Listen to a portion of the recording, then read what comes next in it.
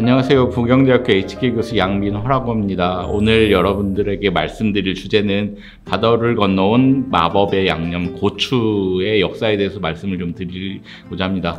바다를 건너온 물건들은 상당히 많습니다. 뭐가 많냐면 이 배를 통해서 바다로 들어왔다고 해서 이 박내품이라고 얘기를 하는데요. 우리가 너무너무 잘 알고 있는 시계나 나침반, 그다음에 커피 같은 것들도 어, 박내품입니다. 그래서 바다를 건너서 우리나라 나라에 혹은 어떤 국가에 들어온 물건들을 가리켜서 얘기하는데요. 이것들은 예전에 되게 구하기 힘든 것들이다 보니까 이것들을 사치품 혹은 어, 사람의 위세를 떨친다라고 해서 위세품이라고 얘기를 합니다. 그래서 이 박내품은 사실 19세기 후반에 에, 개항 이후에 들어온 물건들을 가리켜서 어, 이야기하는 경우가 많은데 기본적으로 지금 오늘 말씀드릴 내용들은 고추입니다. 상당히 시대가 오래됐긴 했지만 그래도 그 당시에는 사치품이었고 위세품이었습니다. 그래서 지금 우리나라에서는 요리 문화에서는 빼놓고 얘기할 수 없는 필수 불가결한 양념인데요. 이 고추가 어떻게 우리나라로 들어왔는지 아니면 이 동양권에 들어왔는지 그 다음에 고추의 매력이 무엇인지에 대해서 여러분들하고 오늘 설명을 좀 해보고자 합니다. 어, 간단하게 설명을 드리면요. 고추는 어떻게 들어왔냐면 그 원산지가 우리나라 쪽도 아니고 이 동양권도 아닙니다. 남아메리카, 그냥 남미죠. 남미가 원산인 이 고추는 당시에 그 포르투갈 사람들이 일본에 고추를 전달했고 그 다음에 이 고추가 임진왜란 때 한국으로 전파됐다라는 얘기가 있습니다. 그래서 이 고추가 남아메리카 그러니까 남미에서 들어왔는데요. 원래 아주 기원전 5천년 혹은 7천년으로 거슬러 올라가면 페루나 멕시코 등에서 재배가 됐고요. 어, 박래품이라고 하기에는 너무너무 어, 오랜 세월에 물건이죠. 근데 이게 그 세계 각국으로 확산된 것은 15세기입니다. 예, 우리가 너무너무 잘 알고 있는 크리스토퍼 콜럼버스에 의해서 이게 남미에서 스페인을 거쳐 들어오게 된 거죠. 고추의 보급의 1등 공신인 크리스토퍼 콜럼버스가 1493년 스페인으로 첫 고추를 가져왔고 이것이 포르투갈 사람에 의해서 발견되면서 동양에 전파되고 이게 음식 문화에 큰 영향을 주었습니다. 네, 콜럼버스가 그 미지의 대륙을 향해서 항해에 나선 이유는 먼저 인도와 중국, 일본과 같이 동양에 관심이 있었던 점을 꼽을 수 있고요. 그 다음에 그 당시에 매우 비싸게 팔렸던 그 사치품, 유세품, 아까 박내품이라고 얘기했던 향신료를 원했기 때문입니다.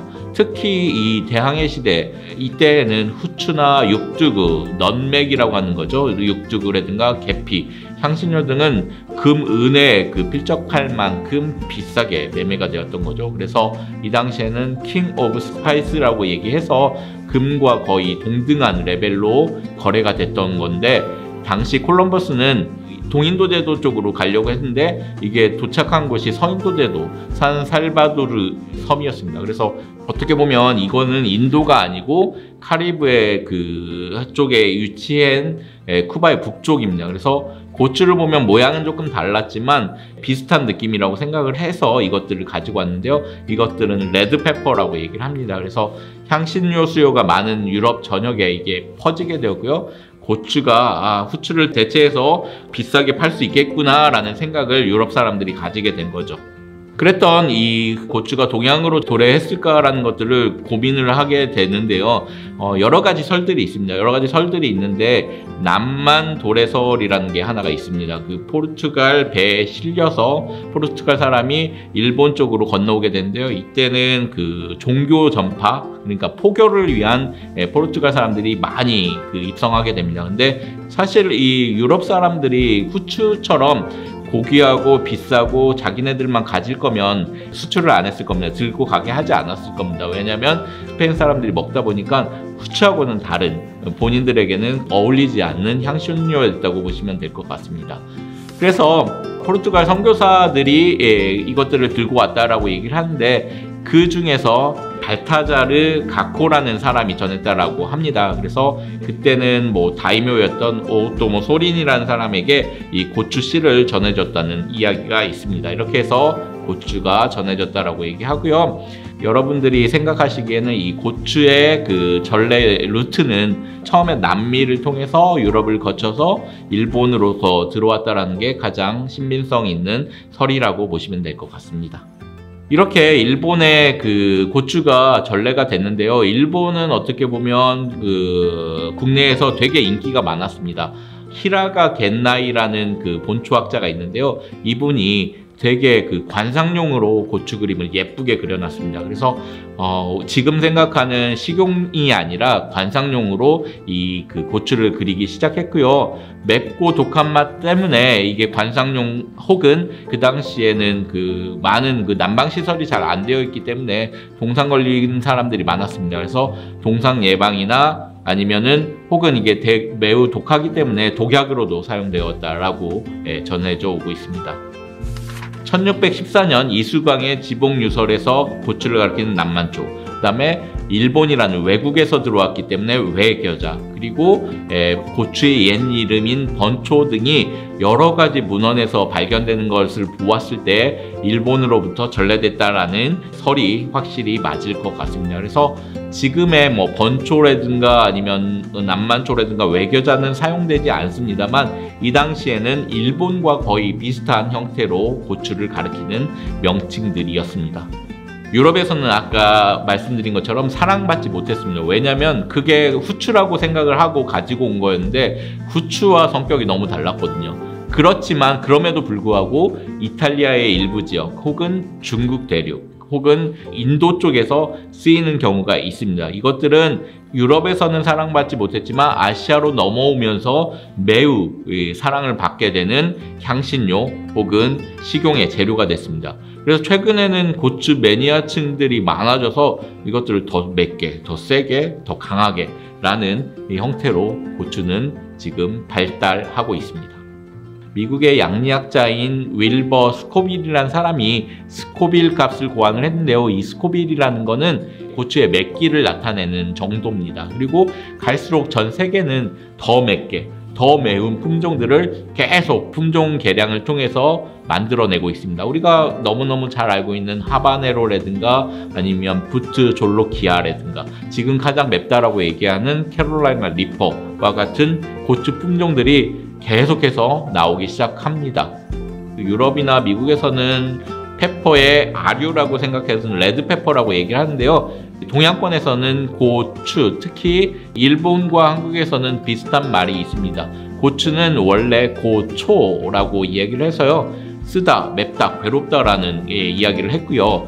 혹은 당초라고 일본에서는 부르기도 합니다. 초라는 거는 이 고추를 의미하는 거고요. 당이라는 거는 당나라의 이 당자를 쓰긴 합니다. 근데 일본에서 이 당을 쓴다라는 거는 외래라는 의미가 포함되어 있습니다. 즉 어떤 외국이든 상관없이요 외국에서 온 그 고추라는 느낌으로 당초라고 보시면 될 것 같습니다. 그래서 외래작물, 도래작물, 바다를 건너 들어온 작물이라고 보시면 될 것 같습니다. 아까 얘기했듯이 그 캐롤라이나 리퍼가 지금 현재 제일 매운 고추라고 합니다. 이거는 300만 스코빌이라고 하는데요. 신라면이 한 4천 스코빌 정도 되는데 이렇게 보면은 엄청나게 맵다라는 걸 아시겠죠? 예, 오른쪽에 보시면은 파바네로, 부트졸로키아 등과 같은 그 여러 가지 교잡종들이 만들어졌고요. 전 세계에는 지금 고추 붐입니다. 매운 거 붐입니다.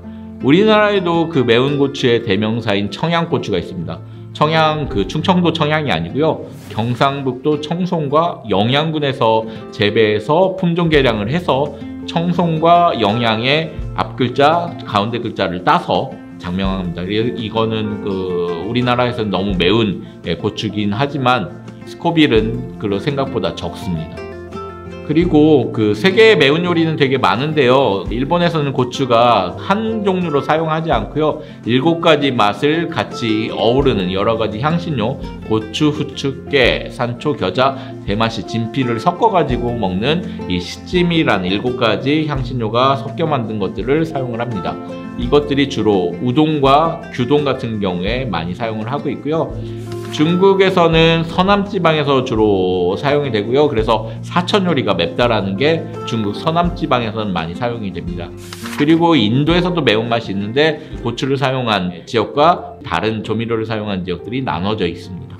이렇게 전 세계적으로 사랑을 받는 글로벌 슈퍼스타 고추는 불을 뿜어내듯이 맵다와 같은 고추의 매운맛은 예, 어떻게 보면 우리나라에서는 엽기 떡볶이, 불닭, 불초밥과 같이 이런 매운맛에 빠져 있고요. 한류 붐과 더불어서 우리나라의 이 매운맛이 전 세계적으로 퍼져나가고 있습니다. 그래서 세계는 가장 매운맛 고추를 개발하고자 계속 노력을 하고 있고요. 이 고추는 통증과 같은 매운맛이지만 더 맵게 더 매운 우동, 더 매운 예, 라면을 만들어내고 있습니다. 그래서 이 K푸드 붐을 타고 세계 유럽이나 일본에서 가까운 일본에서 고추의 예, 매운맛은 순항 중에 있습니다.